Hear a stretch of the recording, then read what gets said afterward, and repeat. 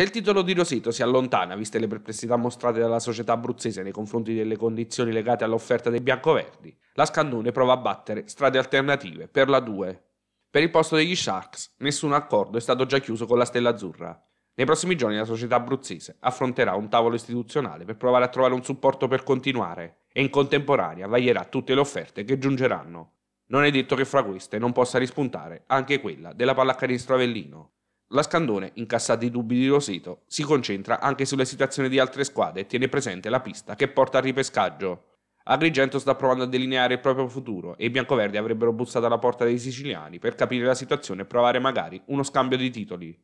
Da capire se le stesse perplessità sollevate da Rosito potrebbero essere un ostacolo anche su eventuali nuovi tavoli delle trattative. E c'è da capire alla fine quale destino attenderà Agrigento, se riuscirà a conservare il proprio posto in seconda serie, se opterà per un semplice riposizionamento o se aprirà alla possibilità di vendita del titolo.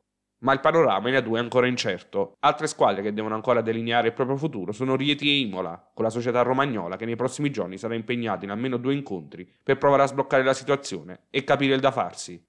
La strada che porta al ripescaggio invece dovrà passare per la volontà o meno della LNP di creare un ranking. Al momento infatti farebbero fede le posizioni in classifica della stagione conclusasi anticipatamente, con più di una squadra che avrebbe fatto un pensiero al salto in A2. Fra queste di sicuro 100, che sarebbe pronta a iscriversi alla corsa per il ripescaggio, forte del secondo posto nel girone C di Serie B. Per la Scandone, con questi criteri, la strada si farebbe tortuosa.